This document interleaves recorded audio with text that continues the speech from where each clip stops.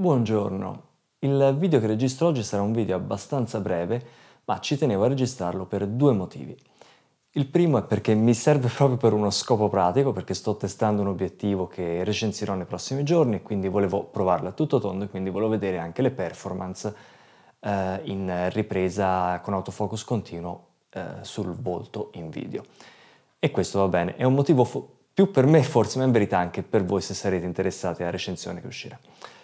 E il secondo motivo è perché volevo un po' mh, mm, chiarire la mia posizione, mi sembra un po' eccessivo, però eh, ho fatto una scelta che avete visto dal titolo del video eh, che va un po' eh, in contraddizione con, eh, con, quello che avevo detto in un video passato e con quella che era stata la, una, una certa impostazione che avevo deciso di mantenere, ovvero non aggiornare più Photolab.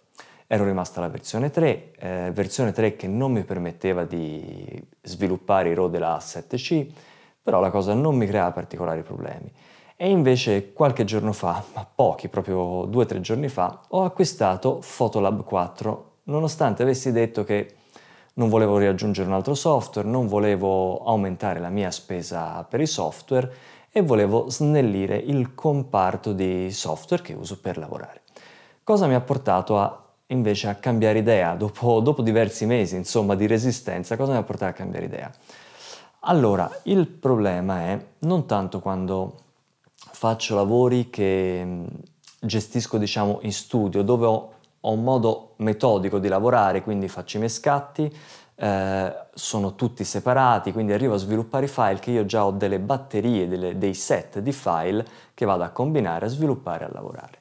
E in quel caso non ho problemi. Eh, I problemi quando sorgono? Quando devo lavorare file che sono scattati in maniera magari random, che siano file per lavoro, file per piacere o anche file per recensioni per il canale, per esempio, e mi trovo un'enorme quantità di file di immagine da gestire. Qual è il problema? Bridge di Adobe permette una, la catalogazione, però per me non è un sistema pratico perché l'anteprima, il sistema di anteprime non mi piace, diventa molto farraginoso se devo aprire più file, confrontare più file, quindi Bridge l'ho usato per un po' di mesi, ma no, no, non, eh, non fa per me. Non amo i software che obbligano a creare un catalogo, motivo per cui non ho mai usato Lightroom. Motivo per cui, ora però non ricordo, ma mi pare che non mi ricordo se c'è un'alternativa, per esempio provai Capture One per un mese, software sicuramente interessante, non mi ricordo se anche lì ormai si può prescindere dal catalogo, insomma, dover creare un catalogo a me non piace, un po' per il sistema del catalogo, che sicuramente può essere utile, ma non, è, non fa per me, e un po' per il fatto che quando devo spostare i files e magari lavoro su un disco esterno, insomma, tutta una serie di motivi per cui non mi piace il catalogo. Quindi eh, sono tornato a Dixo principalmente per eh, fare la scrematura e la selezione dei file, proprio all'impronta.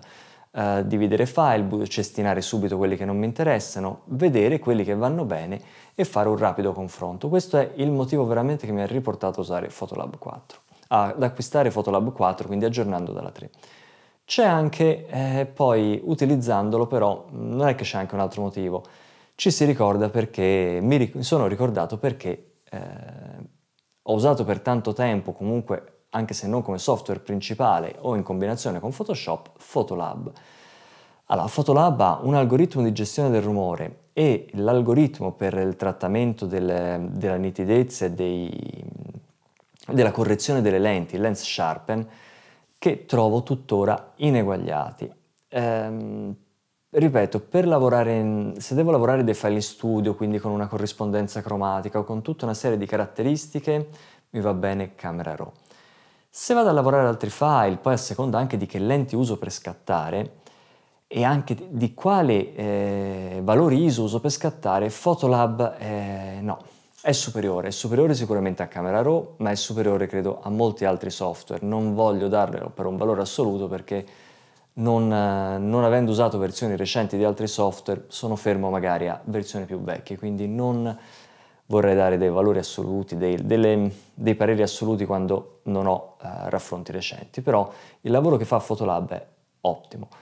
La versione 4 ha implementato questo algoritmo Deep Prime per la riduzione del rumore. Ora l'ho provato su pochi scatti, quindi non ne parlerò ora, ma vorrei tornare a parlarne perché quello che ho visto mi sembra un buon passo avanti anche rispetto all'ottimo Prime precedente ed ha una gestione molto più flessibile rispetto al software più RAW che ho provato un po' di tempo fa, eh, ho fatto un video anche su quello, però che non permette di assolutamente di dosare l'algoritmo né di gestione del rumore né di correzione dei profili delle lenti. Come valore aggiunto devo dire che in effetti non mi dispiace poter sviluppare anche RAW della 7C con Photolab. Cosa comporta utilizzare Photolab? Che comporta che si allunga per certi tipi di scatti il mio flusso di lavoro, anche perché dovevo usare due software, comunque passo sempre dopo i file in Photoshop, eh, però devo dire che mi ha semplificato, mi è tornato a semplificare il, la parte di catalogazione, ma più che catalogazione, no, sbaglio catalogazione, di eh, scrematura e selezione dei file. Ecco, questo è il motivo. Quindi L'aggiornamento non è stato alla fine un peso così grande perché venendo dalla versione 3 l'aggiornamento mi pare sia sotto i 90 euro e quindi nulla. Sono tornato a Photolab 4 quindi lo rivedrete nei prossimi video e ehm, cercherò magari di fare anche, vorrei fare un video un po' di confronto fra i due algoritmi potrebbe credo essere interessante perché dai file che ho visto non ne ho appunto sviluppati tantissimi però mi sembra che ci sia stato un ulteriore miglioramento. Bene, video sta diventando anche troppo lungo, volevo finire, volevo concluderlo qua, volevo dare qualche informazione appunto non tanto su ciò che ho scelto io, ma il perché l'ho scelto, quindi come sempre eh, mostrarvi una situazione magari, in cui potrete magari riconoscervi, magari sciogliervi dei dubbi. Like se vi è piaciuto, iscrivetevi al canale se non siete iscritti e attivate la campanella per non perdere i prossimi video. Piccolissimo spoiler in chiusura per chi ha seguito il video fino a qua, allora, la prossima recensione che registrerò, ho praticamente ormai tutto il materiale, sarà quella del Sony 35 mm f1.8, poi seguiranno quella del Viltrox, però ho iniziato il Viltrox 33 1.4 per APS-C, però ho iniziato a provarlo da poco, quindi anche se mi sono già fatto un po' un'idea, voglio provarlo meglio. E credo che porterò anche un nuovo filtro della KNF. Continuate a seguire insomma il canale e vedrete so, un po' cosa uscirà. 找